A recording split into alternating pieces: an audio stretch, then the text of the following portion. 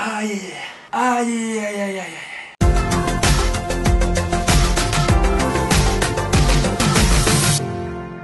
Hola, ¿qué tal? Nuevo video, nuevo día, ¿sí? Hoy les traigo algo diferente, hoy les traigo algo para que se entretengan.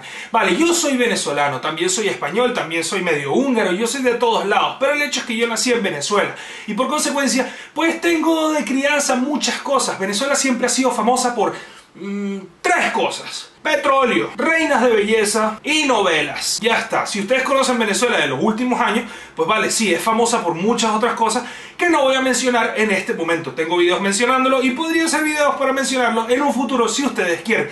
Pero en este momento voy a hablar específicamente de las novelas. Sí, sí, sí, sí, sí. Si ustedes no han visto novelas, probablemente han visto realities. Y los realities son los hijos de las novelas. Las novelas son historias que normalmente duran mucho tiempo. Son súper exageradas. Son historias de amor, de traición. Son historias de...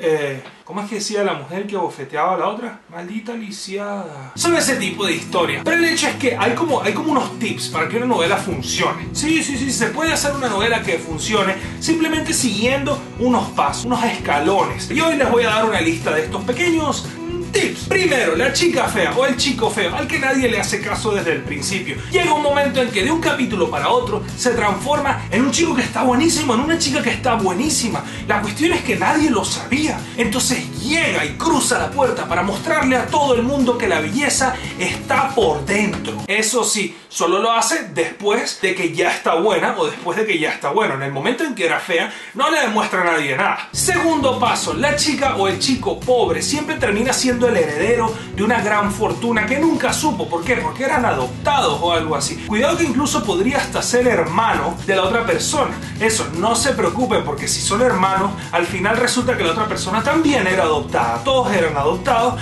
y resulta que no son hermanos. Así que no hay problema, no hay nada de incesto en esta cuestión de las novelas. Pero la cuestión está en que como él o ella se criaron pobres, ellos no necesitan dinero para ser felices. Hay que estar claro que el dinero no es lo que compra la felicidad. Pero eso sí, en el momento en que eran pobres la estaban pasando mal. Cuando les llegó el dinero fue que empezó a crecer la cosa, fue que empezó a llegar la felicidad. Pero no es necesario, porque ellos eran pobres y saben que el dinero no trae la felicidad. Tercero, la pareja del principal resulta que a la mitad tiene un hermano o una hermana malvados. Normalmente podrían ser hasta gemelos y la forma de distinguirlos es que tienen un parche en el ojo o bigote. Y si son mujeres simplemente están más buenas y más arregladas que la otra. Ya está, con eso lo solucionan todo. Cuarto, uno de los padres de la pareja siempre termina siendo una cagada. A ver, vamos a ponerlo de esta manera. Termina siendo malo, malo, malo. Detesta a la pareja nueva.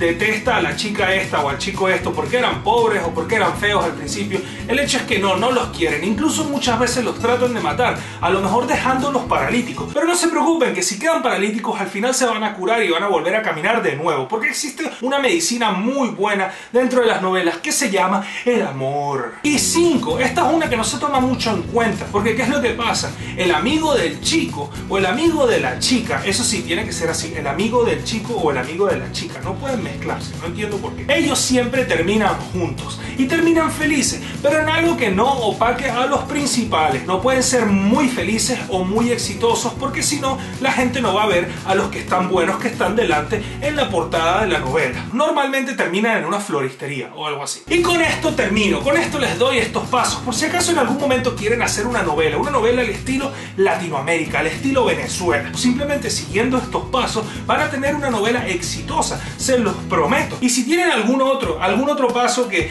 mm, a lo mejor no mencioné porque debo decir que se me puede haber olvidado alguno, déjenlo en los comentarios. Si les gustó el video, dejen un like porque me ayuda muchísimo y se los agradecería mucho. Y si no se han suscrito, denle al botón rojo que está allá abajo y se va a volver gris. Todo el mundo sabe que gris es más bonito. Simplemente denle el botón para que lo confirme. Y como siempre les digo, adiós.